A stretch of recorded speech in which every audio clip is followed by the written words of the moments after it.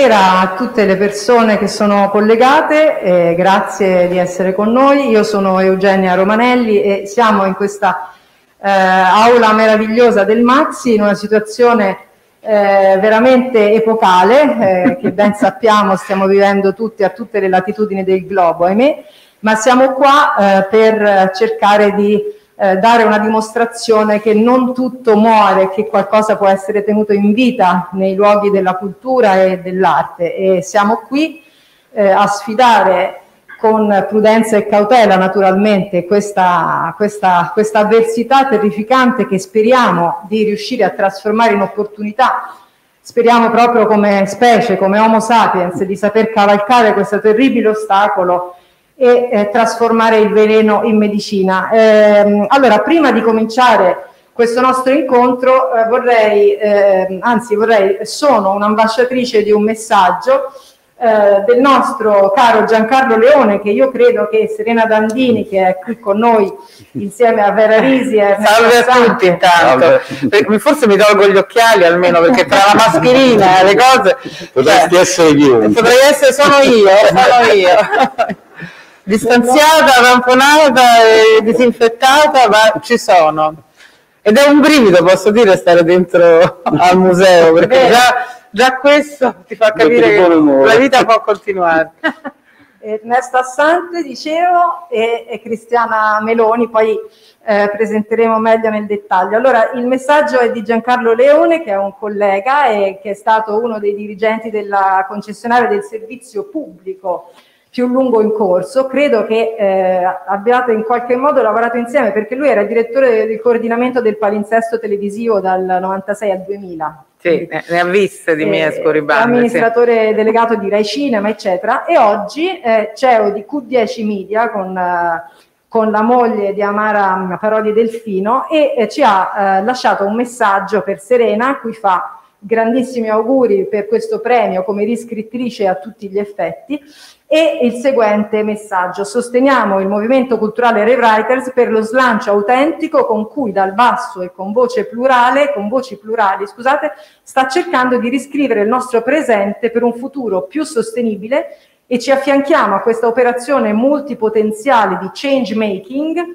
nella quale ci sentiamo anche noi di Q10 Media dei protagonisti. Eh, e ancora una volta vorrei ehm, lasciare la parola, anche se nella virtualità della virtualità della virtualità, a eh, Giovanna Melandri, che oggi avrebbe dovuto essere qui, ma ahimè vedremo che cosa ci dice in questo suo messaggio da casa, purtroppo. Intanto mi dispiace moltissimo non essere con voi oggi, purtroppo ieri sono entrata in contatto con una persona positiva al Covid e quindi eh, e quindi io devo stare in una quarantena cautelativa per qualche giorno e spero di non essermelo beccato, ma insomma sono, sono in quarantena e sono felice di eh, salutarvi e di dire che sono molto contenta che il Rewriters abbia deciso di conferire questo premio a Serena. E Serena Dandini è una forza della natura, e tantissime cose, un'autrice, una conduttrice, una talent scout molto prima dell'era dei micidiali, ta- dei micidiali talent eh, e soprattutto è una, donna, è una donna meravigliosa perché le donne che fanno ridere sono, io credo, la prova dell'esistenza dell'evoluzione della specie umana. Eh, non c'è niente più evoluto delle donne spiritose, ma anche profonde, ma anche eh, generose. E Serena è tutto questo. Serena ci ha offerto tanto, ci ha offerto la risata, ci ha offerto l'indignazione, ci ha offerto soprattutto il pensiero. Eh, anche nel suo recentissimo libro su Lee Miller, che ho veramente amato molto, eh, ho amato la generosità con cui lei si è messa a fare questa ricerca profonda su questo, su questo personaggio incredibile, eh, ha dato voce a una donna veramente straordinaria. E quindi eh, è a pieno titolo eh, Serena una rewriter. E io sono veramente dispiaciuta di non essere con voi lì oggi, ma, ma è come se lo fossi. E benvenuti al Maxi, benvenuti in, questa, in questo luogo che è chiuso ma non spento e continua e vuole continuare ad essere un'officina di, di pensiero, di elaborazione, di ricerca e anche di convergenze di talenti. E comunque oggi è viva Serena Dandini. Ed eccoci, allora ah, di nuovo un'iniezione di fiducia, sai che le donne hanno sempre l'autostima azzerata, no? da quando nascono, mettono il fiocco sulla culla, mettono il fiocco rosa e l'autostima cala come una specie di quasi comunicante, insomma. Però invece questo mi ha dato, grazie. Allora, grazie a Serena Dandini di essere qui, di essersi fatta, de- devo ammettere che, che l'ho, l'ho un po' trascinata perché ecco, non è proprio semplicissimo aggregarsi in questo momento e anzi mi scuso perché ho veramente lavorato ai fianchi con una eh, pervicacia eh, quasi disturbante, ma insomma cercheremo anche questo di, di trasformarlo in, in, valore. Allora, no, non perché non volessi il premio, cioè perché diciamo la situazione generale non, non invita, eccetera, però sì, esatto. ecco, se, no, se, no. se, si tratta di riscrivere il mondo, come si fa? Non, no? Ci, sacrific- ci sacrifichiamo. ecco appunto, riscrivere il mondo. Allora, per chi non lo sapesse, delle persone che ci stanno seguendo, Rewriters è un movimento culturale che è nato nel gennaio gennaio, nel giugno del, 20, mm, nel 2020, quindi diciamo in piena pandemia, eh, ed è un, un, movimento che si è aggregato intorno alla testata rewriters.it e che mission si dice oggi, qual, qual è la visione di questo, di questo progetto? È quella di eh, noi vogliamo sempre un po' basso, di riscrivere l'immaginario della contemporaneità, e cioè di eh, costruire nuovi paradigmi di senso da lasciare in eredità alla generazione eh, che verrà, in modo che possa orientarsi per sviluppare buone pratiche. Mm, mi rendo conto che sono delle parole un po' astratte. Nei fatti noi produciamo tantissimi contenuti eh, intellettuali, artistici, eh, ma, eh, immateriali su carta digitale ma anche eh, materiali, abbiamo anche una pubblicazione mensile e raduniamo più o meno 300 autori e autrici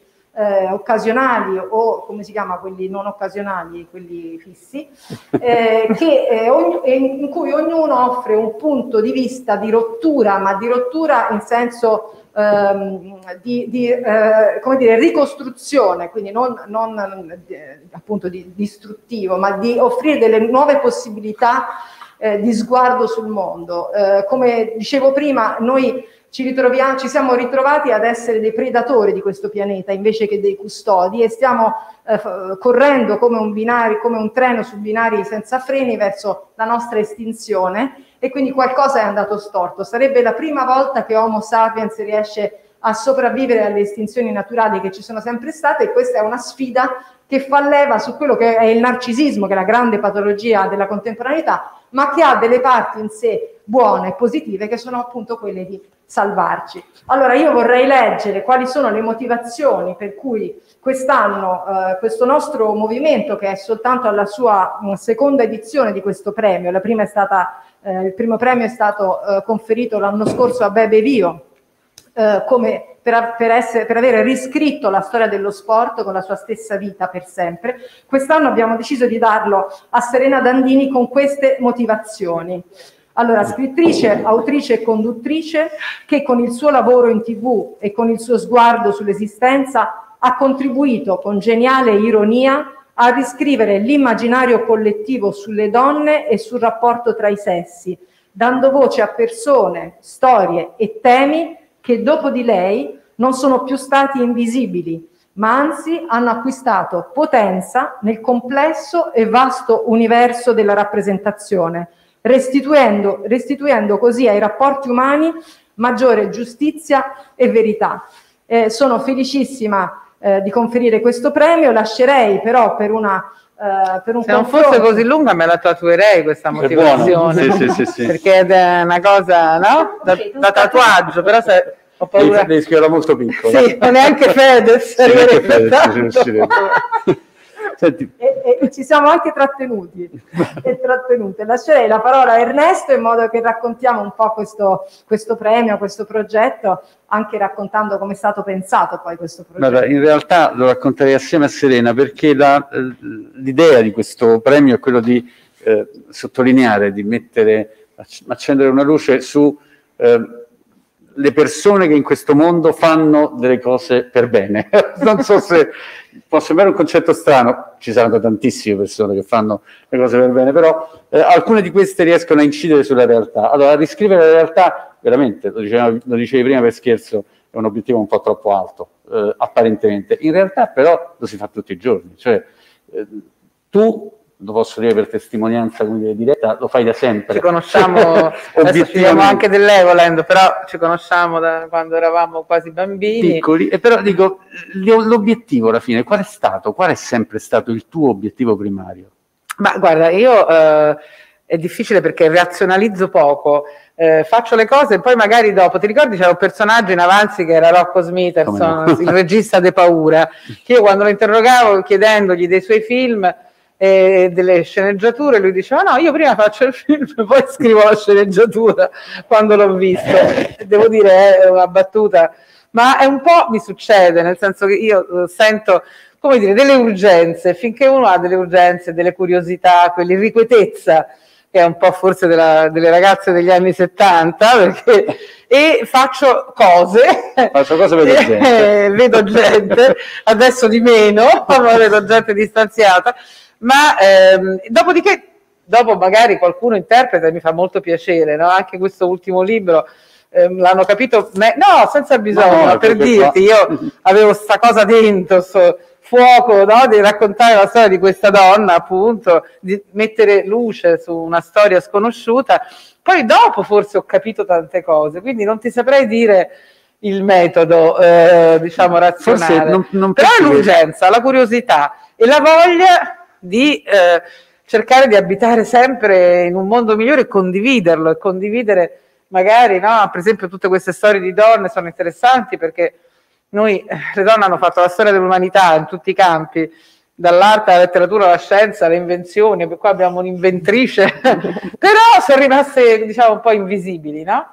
E allora l'idea di dare, e c'era col privato di un albero genealogico che era nostro, no? E, e quindi ridare luce oggi a queste storie ci, ci rinforza e quindi c'è un senso anche di giustizia, no? In qualche modo. Non credi che forse il pregio, uno dei motivi per cui dire, questo premio te lo meriti sotto tutti i punti di vista è che il tuo metodo è non avere un metodo, cioè esatto, scoprire... Hai capito? Però, L'hai scoperto? Eh, sì, cioè, vecchio trucco. Però significa riscriverla ogni giorno la vita esatto. e, e, anche la creatività, anche cercare idee nuove, perché se ci fosse un metodo sarebbe già prevedibile quello che puoi fare domani o dopodomani. Infatti questo va detto anche alle, no alle nuove generazioni, secondo me. Non cercate di no? Eh, diciamo, ah, questo è il metodo per il successo, questo è il metodo per... No, è sempre sbagliato. Bisogna seguire quello che uno ha dentro, se ha delle, capito, delle passioni, buttare il cuore oltre l'ostacolo, ancora sognare, che diventa una cosa quasi... Dice, ma che ancora sogni? Sì, ancora, non solo la notte, anche di giorno, a occhi aperti, e provare eh, a incoraggiare le nuove generazioni a fare questo, che forse a volte hanno degli esempi no? Specialmente anche questi social che sono benedetti da un certo punto di vista, se no oggi non potremmo essere certo, qui, non, e non potrebbero ascoltarci, ma anche non dobbiamo farci condizionare no? da questi schemi, da questi stereotipi. E ti posso fare una domanda molto, forse credo di non avertelo chiesto mai, ma hai avuto un momento in cui hai sentito l'illuminazione, cioè in cui hai capito che stavi Come facendo... Blues Brothers, vuoi dire? sì, cioè c'era James Brown piazzato lì. Ho visto la luce! Ma eh, sinceramente non ti so dire, però io ho capito che, eh, prima avete detto una cosa bella sulle donne, forse l'ha detta Giovanna, eh, le donne che fanno ridere, sorridere o l'ironia. L'ironia è stata un'illuminazione per me, perché eh, poi lo diceva, l'ha detto anche, poi dopo l'ho letto, da Virginia Woolf, io l'avevo così appunto, sempre così distinto, poi ah ma allora se lo dice Virginia, che le, gli uomini forse si prendono troppo sul serio perché sono educati così, no? vi disegnano certo. così a prendervi no, molto sul serio, le donne naturalmente invece sono più portate a in qualche modo, non essendo prese sul serio mai dalla storia, quindi a, a, usare il gioco, l'ironia e l'autironia, a me per me è stata anche una, un po' una salvezza. L'autironia, prenderti in giro prima che lo facciano gli altri, già diventi più forte, no? In qualche modo. E l'ironia è un, mo- un modo di guardare il mondo, riscriverlo con degli altri occhi, con un'altra lente e magari capire delle cose che se sei sempre... Ma no? soprattutto eh, quando si fa ridere eh, è, è completamente assente l'aspetto normativo e del giudizio. Certo. Nei tuoi programmi TV eh, eh, eravamo noi spettatori che arrivavamo a mettere a fuoco delle cose, ma non, non, non eravamo mai imboccati perché erano rappresentati, c'erano delle performance d'arte, tutto qua, e quindi è, è, è, un lavoro maieutico quasi, no? È lo spettatore che poi arriva a, a porsi delle domande. Non sono all'altezza di questo premio, eh? Ve lo dico subito.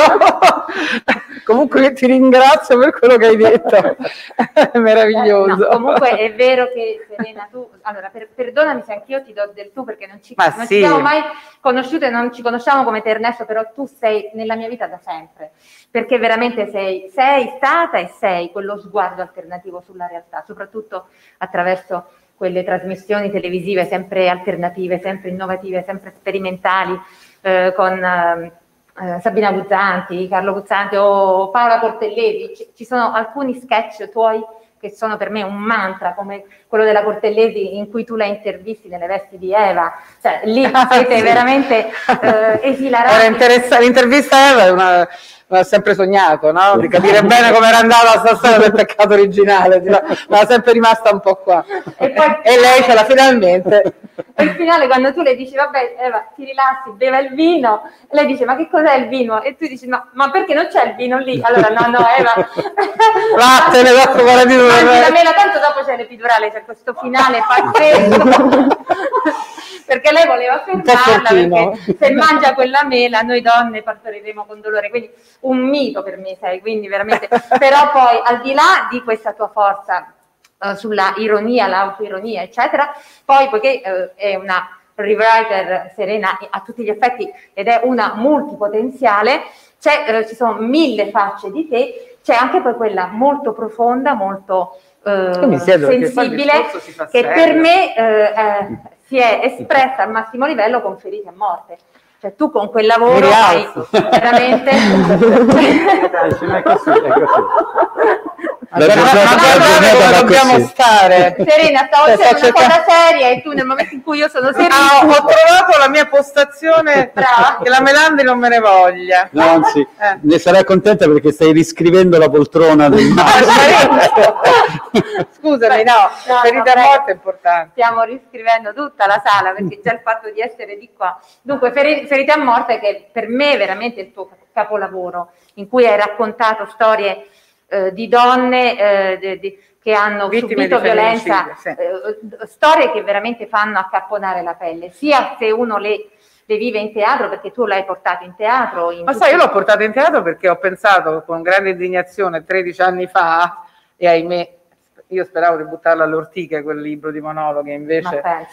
Eh, che tanti discorsi, tante cose poi non arrivavano. Allora in, nel teatro, che è il luogo dove lo spettatore si lascia andare, può arrivare dritto al cuore, allo stomaco, un discorso che invece era importante allora e ahimè, scusatemi solo di dire questo, è terribilmente importante oggi perché durante la pandemia purtroppo è stato un disastro. È stato un disastro per le, le donne vittime di, di, violenza casalinga perché si sono trovate molte, capito? State a casa che era uno slogan anche allegro per molte donne è diventato un incubo perché si trovavano chiuse diciamo tra quattro mura con il loro aguzzino. Quindi ricordiamo sempre che c'è il, numero 1522 che è anche un'app per cui si può digitare senza, essere, senza parlare. Però insomma, diciamo che durante questa pandemia come se non fosse necessario tutto quello che è stato detto e fatto però ancora di più è uscito allo scoperto questo mostro che io mi auguro e spero facciano ma una rivoluzione culturale perché vanno bene le leggi, vanno bene naturalmente la certezza ragione. della pena, la sicurezza, tutte queste cose sono necessarie. Ma l'immaginario ma è importantissimo proprio per fare una rivoluzione culturale, bisogna farla insieme agli uomini, perché non è un problema delle donne, no? nei certo. centri antiviolenza lavorano donne, nei cortei, avete visto adesso a Istanbul che hanno una cosa gravissima, si è sfilato dalla Costituzione di Istanbul, una cosa per cui abbiamo lottato tutti i paesi e tutte do- molte donne, molte donne, molte donne, io voglio, capito, vedere gli uomini, perché se no questa lotta non si combatte insieme, non arriviamo, e nelle scuole, sin da piccoli. Non la chiamiamo educazione sessuale perché disturba, chiamiamola educazione sentimentale. Affettiva, sì. chiamiamola chiamiamola educazione, che già andrebbe benissimo. al rispetto. e quindi, vabbè, questo è un discorso lungo, però mi hai provocato su questo, sai, è un discorso, però mi ha fatto piacere farlo e farlo qui, perché se bisogna riscrivere un mondo nuovo, non può essere un mondo dove no, non ci siano le stesse opportunità per gli uomini e le donne, un mondo dove le donne ancora siano considerate proprietà del marito, fidanzato, padre, eccetera, eccetera. No? Che mondo che, che, riscri- che, riscriviamo a fare? E, e l'arte, l'arte, la cultura, secondo me, sono una leva importantissima proprio perché non sono normative eh, possiamo fare 100.000 congressi, 200 miliardi di tavole rotonde, eh, proporre 20.000 eh, inchieste, eccetera, ma eh, parliamo soltanto a chi è già erudito su, su questi temi, mentre riuscire a, a, far passare dei contenuti eh, nuovi su queste tematiche, che sono questa come tante altre tematiche, dalla sostenibilità ambientale alla cultura queer, LGBTQ, eh, eccetera, eccetera,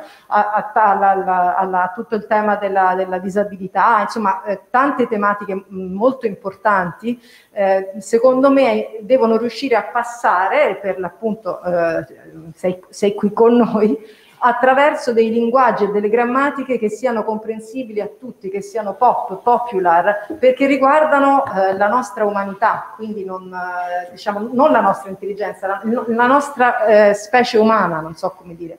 Quindi creare appunto... Di donna e homo sapiens. Eh, sì, Cominciamo esatto. a dire anche donna sapiens. Donna sapiens, donna sapiens. Donna sapiens mi piace. Tra l'altro... Che è come, come donna summer, cioè donna sapiens. E dopo eh, le parole... È verissimo, guarda, aderisco al tuo discorso. E Scusate, sono sempre le, un po' impertinente. Le parole di Vera Risi, che è la condirettrice, condirettora, condirettore, eh, insomma, eh, così, di, di Rewriters, quindi Rewriters non esisterebbe eh, perché io parlo, parlo, ma so, non esisterebbe senza Vera Risi, la quale confeziona i nostri mille articoli eh, che escono l'anno. Vorrei anche far dire eh, qualche cosa sul premio a, a, colei che lo ha curato questo premio, che è Cristiana Meloni di eh, Architects and Inventors Labo, che è la, la, il marchio, diciamo, il, il brand di inventori e inventrici. E ecco, tu che sei un'inventrice, che cosa vuol dire? Te lo dici da sola che sei un'inventrice per autostima oppure è una cosa proprio tecnica? Guarda, questa è una domanda su cui spesso mi batto perché diciamo, io sono architetta inventrice, ogni volta questo titolo sembra che diciamo, me, lo, me lo metto in testa da sola, in realtà pochissimi sanno che il titolo di inventore, quindi di inventrice, è un titolo che viene ufficialmente riconosciuto dal Ministero dello Sviluppo Economico quando... esatto, no, ma infatti è buffo e perché... quante inventrici ci sono? Allora, su questo... no, adesso ci hai provocato? allora, no, infatti, diciamo che allora, il, il economico rilascia un titolo, tra l'altro un titolo di inventore. E, ahimè, e non, c'è scritto mai inventore, inventore no, anche donna? Non c'è scritto e io Elena, personalmente... allora, devo dire che personalmente ho scritto no, è una, polemica, una lettera... Eh, no, è vero, però ho scritto personalmente una lettera Brava. al Ministero dello Sviluppo Economico perché comunque... Le parole eh, sono importanti. Sì, nel senso poi... Ministero dello Sviluppo Economico? Ministero. Ministero dello Sviluppo Economico per chiedere di eh, riconoscere il titolo di inventrice. Detto questo. esatto. E, e, quindi appunto è un titolo che viene rilasciato quando si fa un deposito di un brevetto, quindi quando si inventa veramente Bella. qualcosa. Su questo ovviamente si potrebbe parlare tantissimo perché l'Italia purtroppo solo il 15% delle invenzioni appartengono a donne e già purtroppo inventiamo poco. Perché non eh, abbiamo tempo anche. Perché non abbiamo tempo, perché pensiamo che sia qualcosa di impossibile, di difficile. C'hanno, c'hanno... Non siamo così tanto intelligenti come gli uomini. No, ma guarda, in realtà il problema è proprio uh, un problema sociale, appunto, che, su cui bisognerebbe lavorare tantissimo, su cui si, si sta adesso finalmente iniziando a parlare. Io infatti per Red Writers scrivo un blog che è dal titolo Inventare al femminile perché appunto voglio raccontare invece di quante invenzioni Bello. hanno fatto le donne, quindi parliamo finalmente di quello che è stato Siamo inventato. Antichi, Ernesto, non sapevamo nulla delle... Ma questo premio è un'invenzione? Allora, questo premio è un'invenzione, quindi ah. è, un, è, un'invenzione europea, quindi è, un, è depositato eh, insomma in Europa è un brevetto europeo. L'inventore del premio è Mar- l'artista inventore appunto Marco Duranti. Che, chiuso qua fuori, che abbiamo chiuso qua fuori per problemi, esatto, per problemi di distanziamento. E è un'opera, allora è un San Pietrino gigante. Allora, su questo vorrei fare una piccola premessa. Um, appunto, innanzitutto ringrazio prima di tutto gli sforzi fatti per um, far sì che No, eh, questa è una versione diciamo leggera, di questo esiste la versione anche in cemento che ovviamente però è molto, è molto pesante. questa diciamo è una versione più comfort. E, ehm, allora no, innanzitutto ringrazio tutti perché Uh, insomma, rendere un, possibile un evento come quello di oggi in un momento delicato come questo, immagino che insomma, eh, non è. Non è... il Maxi per averci dato. Sì, ringraziamo esatto il Maxi prima di tutto, anche perché appunto da architetta, inventrice, essere in un luogo come questo che è un contenitore di genialità tra l'altro progettato e realizzato da un'architetta inventrice, perché anche Zadid era inventrice ma era inventrice, lei ci sono tantissimi brevetti eh, depositati da Zadid, quindi comunque eh, appunto era una vera inventrice. Ovviamente è insomma, una grandissima opportunità. Inoltre il Maxi rappresenta un po' il futuro di Roma, quindi è finalmente un simbolo di una nuova prospettiva di Roma che è anche il luogo diciamo, di fondazione del movimento Rewriters. A Roma noi siamo abituati a camminare sui San Pietrini, che è la pavimentazione tipica di Roma, calpestiamo questi San Pietrini senza renderci conto di, della strada che stiamo percorrendo, quindi lo facciamo in maniera automatica e non ci soffermiamo sul, su quello che stiamo, cioè sul nostro percorso. Il San Pietrone, che è appunto un San Pietrino gigante, ripeto, eh, l'inventore del, dell'opera è Marco Duranti, ehm, è, rappresenta un ostacolo, quindi qualcosa di nuovo che obbliga a fermarci eh, un nuovo punto di fermata perché comunque è qualcosa che ha cambiato diciamo, mh, la sua funzionalità perché chiaramente quella è una seduta in realtà e quindi non è più un, un elemento... Ci si, si può sedere? Certo. Ma, ma, ma, quindi non è che uno diciamo penso sempre a Alberto Sordi e alla moglie quando vanno alla Biennale, quando, sì. cioè, eh, mi era avuto istintivo sedermi su quello che ormai è praticamente il mio San Pietrone. Esatto. Però non volevo offendere. No, no, in realtà è una seduta, quindi è un, è un, piccolo San Pietrino che si è scalato ed è diventato una seduta. Finalmente! è stato scomodissimo. Serena, noi... Serena. Ma noi riscriviamo anche i premi. C'è uno specchio che se si rompe è un macello. In diretta potrebbe essere. No, allora, Serena, però volevo dire anche, perché tu fai tutte le cose tecniche, però loro hanno interpretato, secondo me, in modo ehm, veramente interessante un, un, punto del nostro manifesto, ti ricordi Ernesto che abbiamo scritto insieme, che dice che un punto di vista è solo la vista da un punto e infatti tu per leggere la scritta devi guardare necessariamente dentro lo specchio, quindi a casa te lo devi mettere con uno specchio davanti, sì. se no non funziona. Bisogna cambiare punto di vista, quindi è qualcosa che ci fa cambiare punto di vista. E, e... poi Esatto. Certo. Quindi stai seduta, è tipo una toilette. Infatti, già ho capito. Esatto. È una delle rare opere d'arte funzionali e utili. Esatto. Non a caso l'ha fatto un'inventrice, cioè c'è un ecco. tutt'uno. Noi donne andiamo sempre sul pratico. Poi. Grazie veramente di cuore. In realtà, appunto, tutti i premiati Revraters per noi sono que- dei San Pietroni, quindi se, se, Serena Dandini per noi oggi è il nostro San Pietrone, quindi c'è una donna intellettuale che, ha, che ci ha obbligato a fermarci in un nuovo punto di fermata, di riflessione, di ragionamento che ci ha dato un nuovo punto di vista politico, ironico, culturale, etico, personale e io da piccolissima diciamo seguivo tra, con mia sorella che era più grande la tv delle ragazze che è stato una bugia perché non era nata non è vero ero nata invece Beh, la prima era 30 anni fa. Ero nata ero piccola. Eh, ero già nata. E comunque è stato qualcosa che ha rivoluzionato la comicità in Italia perché appunto ha rotto il pregiudizio secondo il quale le donne non avessero ironia, non avessero senso dell'umorismo. Pensi che le, le battute sono entrate nel linguaggio comune? Esatto. E quindi però, però cioè, oggi per noi Serena Dandini rappresenta quindi un'inventrice di un nuovo palcoscenico autoironico che finalmente ha liberato il talento femminile. Troppo, quindi... guardate, basta. Vabbè, Grazie mille. Basta perché cioè, dovessi crederci sono rovinata. per fortuna sono sempre rimasta un po'. Ma infatti noi abbiamo fatto tutta questa cosa seria sapendo che poi tanto tu l'avresti alleggerita. Ho rovinato la presentazione, ho rovinato la diretta, scusate. Ovviamente Bene. poi chiudo, oh, non per ultima per ringraziare ovviamente Eugenia, Vera e Ernesto perché senza di loro chiaramente tutto questo non sarebbe possibile. possibile. Grazie. Allora, io eh, ringrazio Vera, ringrazio Cristiana ringrazio tantissimo Serena di, di essersi fatta questa, questa, questo questa gita. trascinamento sì, in questo luogo. Sono quasi emozionata fuori casa, capito? Sembra quasi di stare su una, in una chiesa. E... Beh, in fondo i musei sono un po', no? Delle chiese, si respira, volevo, una mistica. È una sacralità. Eh certo e volevo anche ricordare eh, il tuo ultimo libro che appunto di cui si, si, è parlato tantissimo sei portatore sano, portatore sano di libro.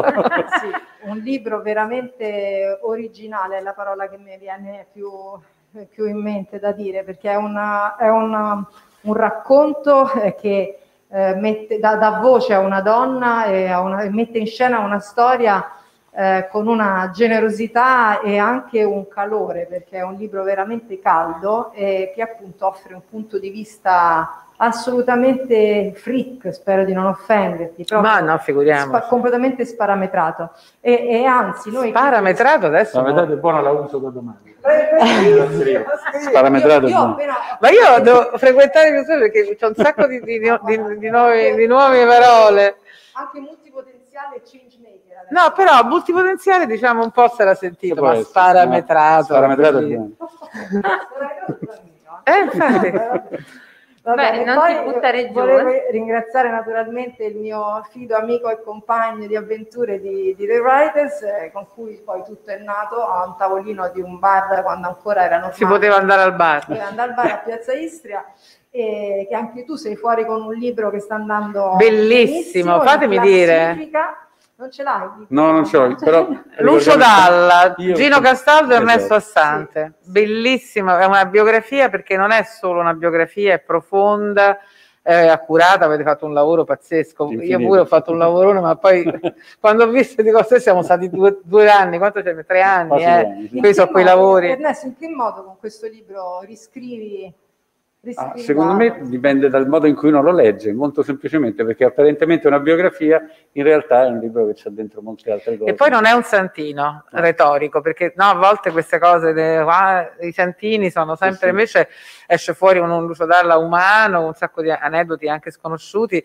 controverso, contraddittorio, ma è quello che ci piace di lui, no? se non avrebbe potuto scrivere quelle canzoni se non avesse avuto anche le Diablo Co eh, che loro eh, devo dire se non fosse stato sparametrato non avrebbe è bravissimo. È proprio un libro sono due libri molto sparametrati e noi siamo fortunatissimi di avere qui con noi uno dei più importanti critici musicali italiani che è la colonna sonora della nostra generazione. Sempre dopo Castaldo ovviamente da città anche Castaldo il libro è tutte e due eh, se no quello sai che fa no no? no, quello mi toglie il saluto. Esatto. Eh, altro che rewriters altro che sparametrato Vabbè, siamo così ragazzacci. Vorrei ringraziare tantissimo perché poi ovviamente ci sono i, i, lavori backstage. Vorrei ringraziare tantissimo Brave Solutions che è la società che con grande eh, sostegno ha gestito insieme naturalmente al Maxi tutta questa diretta eh, che originariamente doveva essere in presenza, quindi con grande creatività e supporto e che gestisce il, il social media management di Rewriters. Vorrei ringraziare i nostri due uffici stampa, Bipres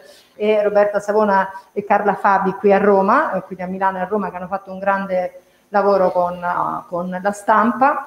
E poi vi dobbiamo ringraziare. Io vorrei ringraziare Giovanna Melandri per le belle parole e l'ospitalità che tiene vivo questo museo anche in tempi proibitivi.